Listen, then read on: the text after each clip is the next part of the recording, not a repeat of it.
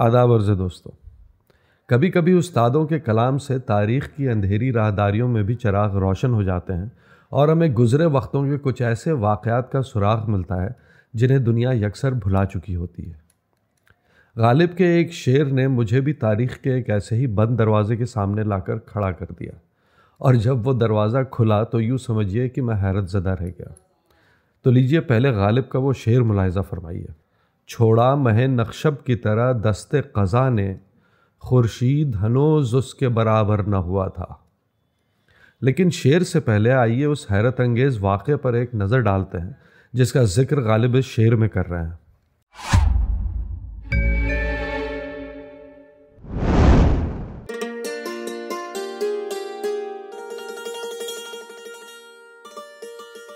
बात आठवीं सदी की है। और इलाका है खुरासान का।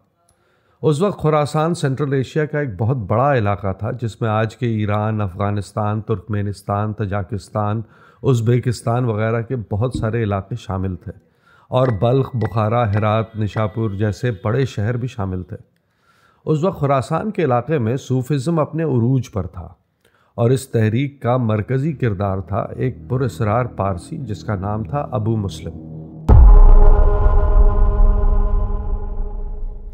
अबू मुस्लिम ने उमैयाद खिलाफत से खुली बगावत का ऐलान कर दिया और अब्बासियों के हक़ में खुरासान को हासिल कर लिया। अब्बासियों की हुकूमत लाने में अबू मुस्लिम ने बहुत अहम किरदार अदा किया था। वह एक बेहद बहादुर इंसान था और चूँकि वो सुन्नी, शिया जरथुश्री यहूदी, ईसाइयों वगैरह को मिलाकर चलने के हक़ में था, इसलिए मकबूल भी काफ़ी हो गया। खैर, खिलाफत अब्बासियों के हाथ में आ गई। लेकिन खलीफा अल मंसूर से इख्तलाफात की वजह से अबू मुस्लिम को कत्ल कर दिया जाता है और उनकी लाश को दिजला नदी पर फेंकवा दिया जाता है। लेकिन अबू मुस्लिम के कत्ल के बाद एक और हंगामी तहरीक शुरू होती है और ये ख़बर मशहूर हो जाती है कि अबू मुस्लिम मरा नहीं है और वो वापस आएगा। साथ ही हाशिम बिन हकीम, जो अबू मुस्लिम का सालार था, इस हादसे से बेहद रंजीदा था और अब्बासियों का दुश्मन बन गया। हाशिम बिन हकीम की खासियत यह थी कि वो एक बहादुर सिपाही होने के साथ साथ एक जादूगर या शोबदाबाज भी था और कई नामों से जाना जाता था, जिसमें से एक नाम था अलमुकन्ना। अलमुकन्ना का मानी है द वेल्ड वन, या नकाब पोश, या छुपा हुआ। वो अपने चेहरे पर नकाब डालकर रहता था और अब्बासियों के काले लिबास की जगह उसने सफ़ेद लिबास अपनाए थे। उसने ख़ुद को अबू मुस्लिम का जानशीन मशहूर कर दिया और अबू मुस्लिम की तरह खिलाफत से बगावत शुरू कर दी।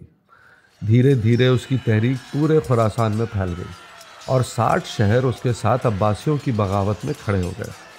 उसने ख़ुद को पैगंबर करार दिया और अपना एक मज़हब भी दरियाफ्त कर लिया जो उस इलाके में काफ़ी मकबूल भी हुआ। चूँकि वो एक बेहद अक्लमंद इंसान था और साथ ही शोबदाबाज भी था, इसलिए साइंस की मदद से वो करिश्मे करके लोगों को मरूब कर लेता था। मिसाल के तौर पे जब अपने किले से वो लोगों को अपना दीदार कराता तो सैकड़ों आईने छुपा कर लगवा देता था, ताकि सूरज की रोशनी उन शीशों की मदद से उसके जिस्म को रोशन करें और लोग उसके जगमगाते जिस्म को देखकर हैरत ज़दा होकर सजदा करने लग जाए। इसी तरह एक शहर नक्शब में उसने एक मसनू या आर्टिफिशियल चाँद बनवाया, जो एक बहुत बड़े कुएँ से निकलता था। कुछ महीने तक ये सिलसिला चलता रहा और फिर किसी वजह से एक दिन ये चाँद गिर पड़ा। नक्शब शहर के इसी चाँद का ज़िक्र गालिब अपने शेर में कर रहे हैं। 1817 में आयरिश पोइट टॉमस मूर ने एक पोम लिखी जिसका नाम था लाला रुख। उसमें औरंगज़ेब की एक फिक्शनल बेटी लाला रुख का निकाह बुखारा के एक शहजादे से कर दिया जाता है और उसे उसके पास भेजा जाता है।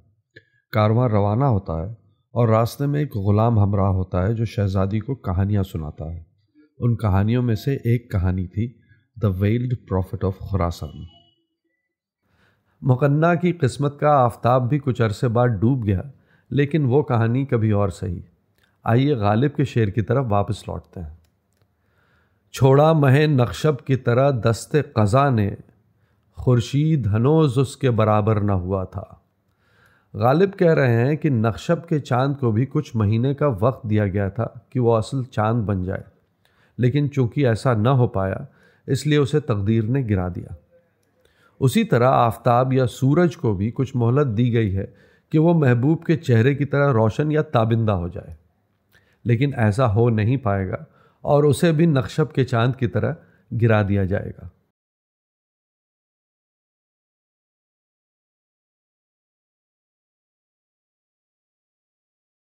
अगर आपको ये पेशकश पसंद आई हो तो रेडियो उर्दू को लाइक, शेयर और सब्सक्राइब कीजिए। बहुत बहुत शुक्रिया।